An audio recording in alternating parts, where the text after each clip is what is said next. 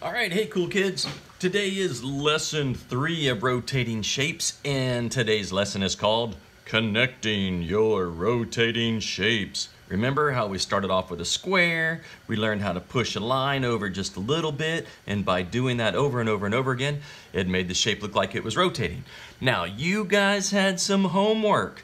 Don't tell me that you didn't, because you did. Um, your homework was to do three shapes, a square, a triangle, and a shape of your choice. I went ahead and went with the diamond on here. So right now for this lesson to work, you need to have a piece of paper with a square, a triangle, and some other shape on it. Now they don't have to be all lined up across perfectly like mine. They can be moved around a little bit. But if you have not done this, hit the pause button and go do this. And then come back and talk to me. Um, for those of you guys that do have this, go ahead and get it out, get it ready, and you're gonna need your Sharpie marker. I'm gonna ask you to do a little something that's kind of cool. Um, it's small, but it kind of makes a big difference. On your piece of paper, take your Sharpie and just about a half inch from the edge, as straight as you can, um, make a line. About a half inch from the edge, make another line. And please do not go get a ruler for this. If you guys have not figured out, I am not a ruler kind of guy. Every now and then you need them, but most of the time, a slightly wavy, curvy line is, mm, I really, really prefer that over a perfectly shaped, shape, a perfectly straight line. All right, this is the cool part. This, remember if you, uh, if you remember from my first video, I said when you start doing this, a little bit of magic happens. Well, definitely the rotating of the shapes is magic, but the magic I was talking about, where something becomes greater than the sum of its parts, is what I'm about to show you right now. So what I'm gonna do, and have you guys do, you see the space in between my shapes? I am simply gonna connect that across, and if you, if if it's not straight across, let's say it was an angle down or an angle higher, like if this had been bigger, whatever it is, just connect it. Mine works kind of nicely because they're about the same height. And if you want yours to be the same height, you could hit the pause button and draw two more shapes again that are about the same height. But the height doesn't matter.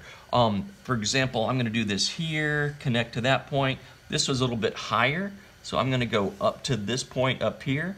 I'm going to do a little connector there. Now, Watch what happens when we use that exact same technique of drawing a straight line but scooching it over just a little bit. I'm gonna go which direction to blow your mind first. I'm gonna start up in this corner, and it doesn't matter what corner you start in, you guys. Doesn't matter a lick. It's just gonna deter, well, you'll just see. Starting here, gonna do pretty straight line till I scooch out, boom, hit please, again, the biggest thing to remind people of is don't come up here, get really close, make smaller changes. So the smaller changes you make, the more dramatic this thing is gonna look. All right, so now I'm going here. That's my first rotation. All right, from here, gonna scooch out a little bit. Don't get in a hurry.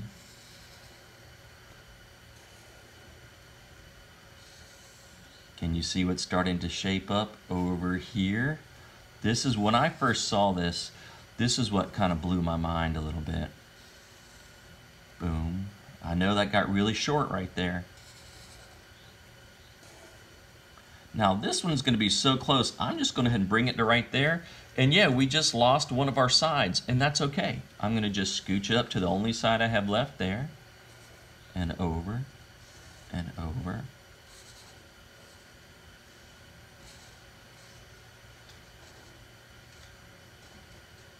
Okay, do you see what just happened? That is the coolest thing in the world. This was my line right here, if you remember. That was where the box stopped and the shape in between. Oh my gosh, I can't even see my, my, the triangle has disappeared. Do you see what happened here? It's nuts. I drew the thing and I can't even find it now. Okay, here it is. There is my original triangle. Do you see it right there? Boom, boom, boom. All right, and here's my original square. But when we do this shape, look at all this grooviness that happened in between right in here. And what we added doesn't stay just to itself, it takes over and connects to whatever was beside it, making this look like it could have been the original drawing when it was just a filler. mind blown. And it's gonna work for every one of these shapes. Now, this shape is kind of wonky in here, so am I allowed to add a line? Sure I am. So I'm just gonna come right across here and add one. I now have two shapes. Doesn't matter what corner I'm gonna be in. I'm gonna start right here. This just is the coolest thing ever.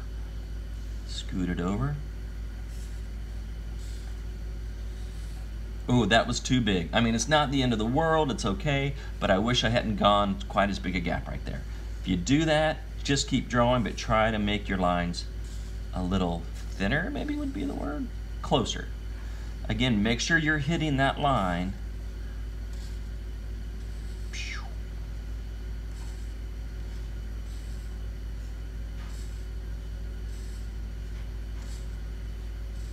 I love it when you get the rhythm going, your brain doesn't have to think as hard. All right, now what was the space in between my shapes is now just as important as the shapes themselves. I'm gonna come down here, I'm gonna go the opposite direction.